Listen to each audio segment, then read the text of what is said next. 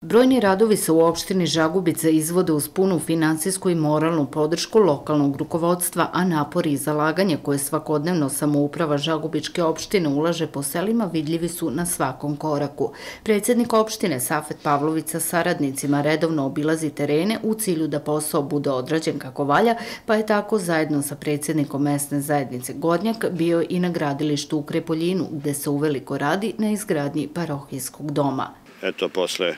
nekoliko godina. Danas smo nastavili sa radovima dalje i sprečili smo propadanje parohijskog doma. Građanima Krepoljina mogu da obećam da nećemo ovde stati i sigurno do kraja građevinske sezone ići ćemo dalje i ovo velelepno zdanje dobit će svoj krov kako bismo na proleće dalje nastavili sa uređenjem unutrašnjosti parohijskog doma i uređenjem spoljašne fasade doma.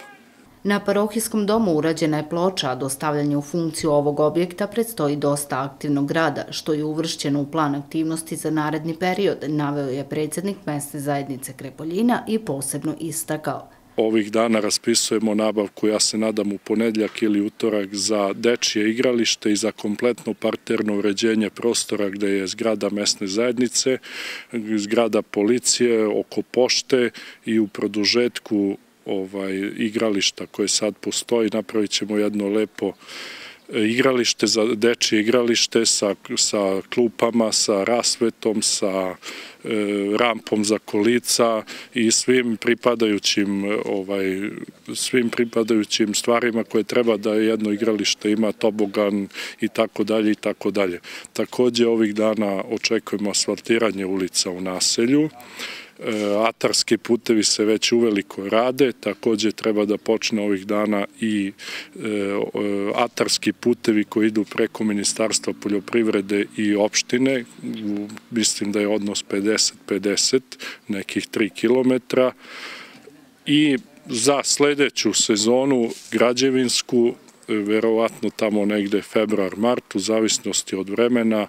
ulica od centra nasilja Krepoljin, od pumpe pa do škole, kompletna rekonstrukcija sa izradom fekalne i kišne kanalizacije, trotoara, behatom ploče i da dobijemo jednu ulicu koja, koju i zaslužuje nasilje Krepoljin i da zaštitimo i decu koje idu do škole i pešake i onu vodu koja se zadržava atmosferska, da sredimo to, da odvedemo tamo gde,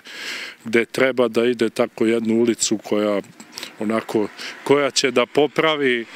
izgled nasilja Krepoljina. Po rečima Predraga Ivkovića, Krepoljin je konačno ušao u red naselja gde se radi i gradi, što je veoma korisno i više nego dobro za sve žitelje, a sunčani dani u drugoj polovini oktobra biće iskorišćeni kako bi se sve planirano završilo u roku.